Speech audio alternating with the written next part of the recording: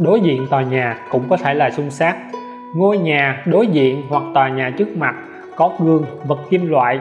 Khi phản xạ ánh nắng, chiếu thẳng vào nhà bạn, được xem là sát về nhà trong hẻm, nếu ở hẻm quá nhỏ sẽ khó phát tài.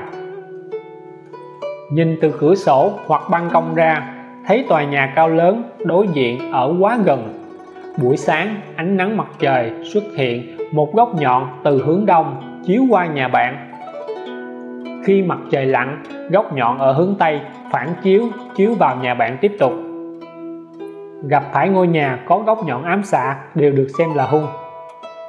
Khải Toàn ví dụ, từ ban công nhìn ra không bị phản xạ bởi ánh nắng từ nơi khác vào. Nếu ánh nắng trực tiếp thì không sao. Vậy làm thế nào để hóa giải?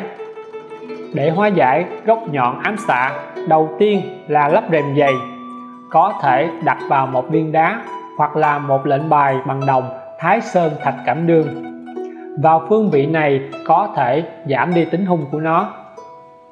Điều này chỉ có thể giảm, hoàn toàn không thể hóa sát sạch.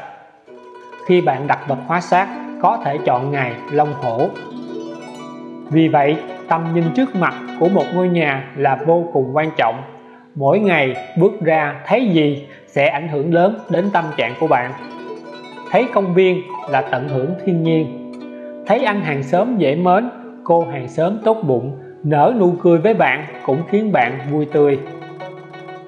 Ngược lại, tầm nhìn bí bách là điều tối kỵ. Ví dụ nhà trong hẻm, nhưng hẻm có diện tích quá bé, tầm 2 đến 3 mét. Mỗi ngày ra đường, bạn chịu sự bí bách của bức tường nhà hàng xóm nhà ở kiểu này khó lòng phát đạt.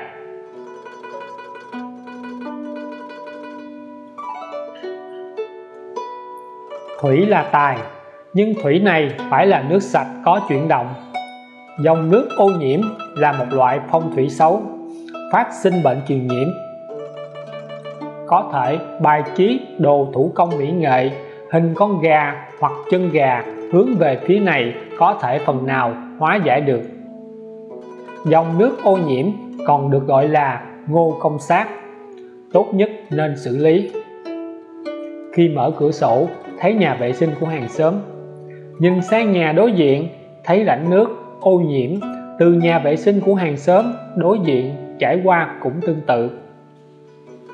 Những gì mắt thấy tai nghe, mũi ngửi, cảm nhận được đều là sát khí.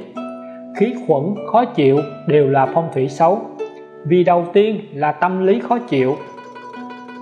Để vườn tài thì hồ cá trong nhà là hiệu quả nhất. Đặt sai thì hao tài.